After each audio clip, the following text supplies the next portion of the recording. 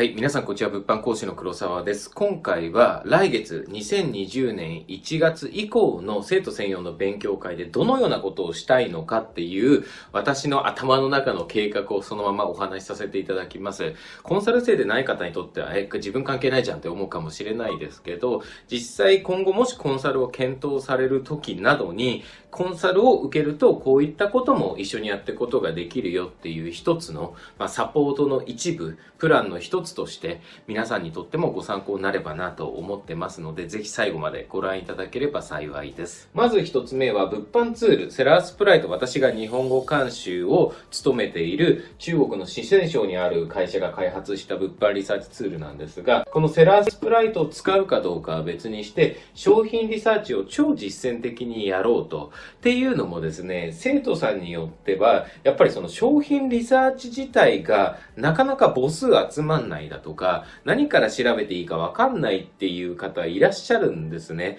で、正直、はじめ母数を集めるのに何から調べちゃえばいけないってことはないので、思いついた商品ポンポンポンポン書いていけばいいんですけど、特に生真面目な方だとか完璧主義の方って、はじめそんな難しいこと考えないでどんどん母数貯めてきゃいいんですよって言われても、ゲーッと立ち止まっちゃうってことがあるので、そこを一緒に打破していこうと。せっかく勉強会に参加されるわけなので、その時間内にも具体的な商品をいくつか見見つけてしまおうと A, B, C, D 大体2個3個4個ぐらいの商品を一緒に見つけてじゃあこの A を全く同じ商品をみんなで出すかじゃなくてじゃあ自分はこの A という商品の類似品の A ダッシュを出すだとか A2 を出すだとか A3 を出すだとか AZ を出すだとかこんな感じで一つ商品が見つかったからといってこれにみんなでうわーって群がるわけではないですからね。アリババには無数の商品がありますから一つ見つけたとしても生徒同士が共食いにならずに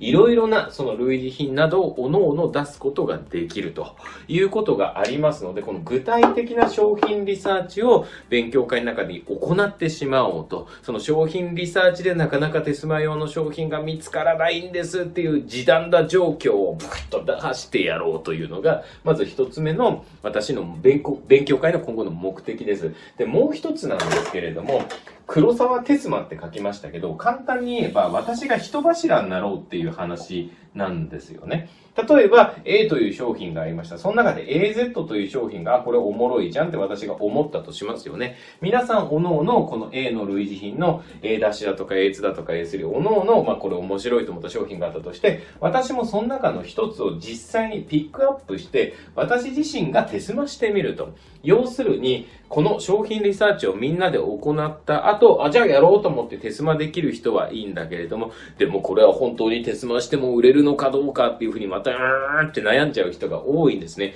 だんだんしゃくれてきて、うーんって悩んじゃう人結構多いんですよ。じゃあそういう方の先陣を切って、自分自身がまずね、一番前に立ってやってみようっていうことで、こういった勉強会での商品リサーチで、商品がいくつか溜まったら、そのいくつかを私が必ず実際に手スマしてみると先に、私自身が、もちろん皆さんも一緒にやってもいいんですけど、ちょっと怖いなって場合は、もう私にやらせるって感じですよね。で、私自身が実際手済ましてみて、その手済ました結果っていうのを報告すると。で、手詰ました結果を報告しますので、それをしっかりと確かめてから、慎重派の人っていうのは、じゃあ自分も買い付けようかって考えてもいいんじゃないのかなって思います。最後にもう一つ、今後私が勉強会に関してやろうと思ってることがあります。それは勉強会の脆弱性、弱点を補うようなプランなんですが、勉強会って今もほぼ毎月参加してくださっている方もいらっしゃいます。しかしながらそれができるのってですね、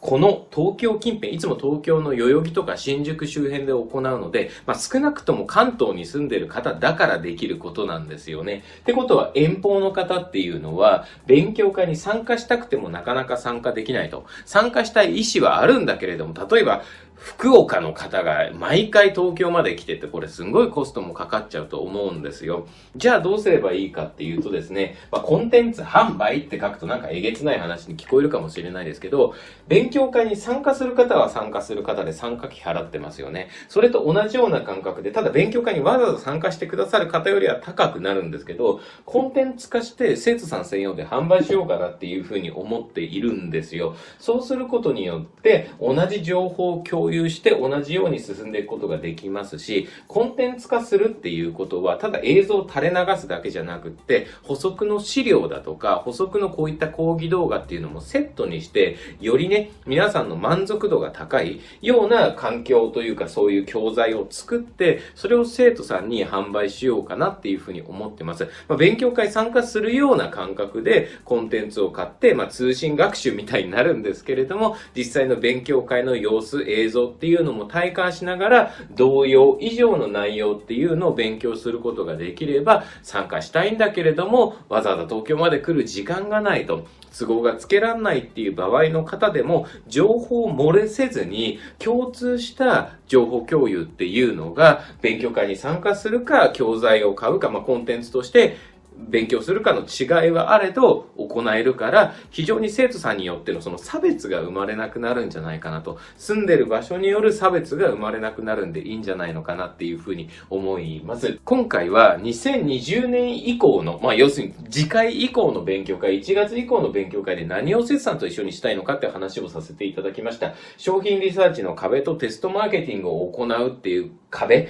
この2つの壁っていうのを勉強会という一つのイベントの中で、ペッペッペッと打破していこうと乗り越えていくことができれば、より実績が出やすい環境もできるし、より実績が出やすい環境も出れば、できれば、先日私講習から帰ってきましたけど、今度一緒に講習行くとか、もうより検討できるじゃないですか。一人で講習行っても楽しいんですよ。でもみんなで行った方が絶対楽しいから、私もそうです。生徒さんとみんなで講習行って、情報共有毎日していくっていう環境って本当楽しいんですよ。だからその状況に皆さんが至れるように、私としても今後も尽力していきたいと考えています。最後までご清聴くださりありがとうございます。失礼いたします。